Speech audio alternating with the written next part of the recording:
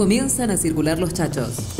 Al fin, luego de varias idas y venidas, los chachos son hoy una realidad en la provincia. A partir del 1 de julio entraron en circulación los chachos, o boca de bonos de cancelación de deuda.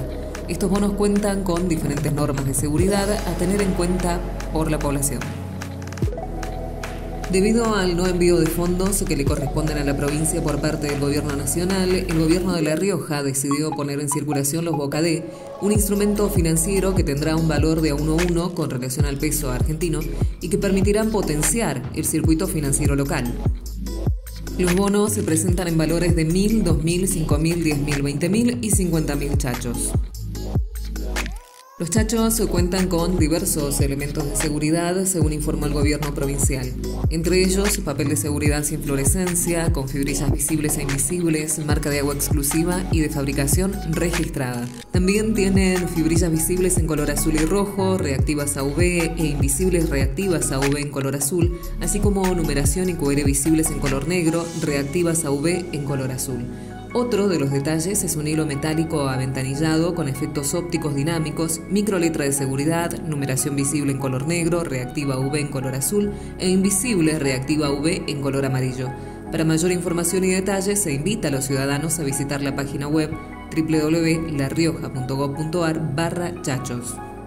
Es preciso aclarar que los chachos son de circulación provincial y que los únicos autorizados para solicitar el rescate anticipado de bonos serán los comercios adheridos al convenio de aceptación de bonos de cancelación de deudas, Ley 10.703. Los chachos sirven para comprar cualquier producto en comercio adherido y pagar servicios e impuestos provinciales. Si al momento de realizar un pago el comercio o la entidad dice que el chacho es falso, no lo pueden retener los únicos autorizados a retener los chachos presuntamente falsos son las oficinas habilitadas por el gobierno de La Rioja. El comercio está obligado a dar vuelto en boca de o en pesos. Los comerciantes de La Rioja que reciban las cuasimonedas deben ir a cambiarlos a una oficina que la provincia habilitaría para tal fin. Sin embargo, ayer la concejal del PRO, Luciana de León, subió un video a sus redes mostrando que el lugar está sin mobiliario y sin ninguna señal de que abrirá en breve. Desde el Centro Comercial Trojano indicaron a Diario La Nación que esperan tener más detalles en los próximos días respecto a los inconvenientes que tienen los negocios más chicos y que necesitan efectivo diariamente para comprar su mercadería. La opción es no recibirlos, admiten. Los altos funcionarios del Ejecutivo Provincial recibirán 100.000 en Chacho como parte del sueldo de junio, mientras que los cargos de directores generales recibirán 50.000 en la cuasi moneda riojana.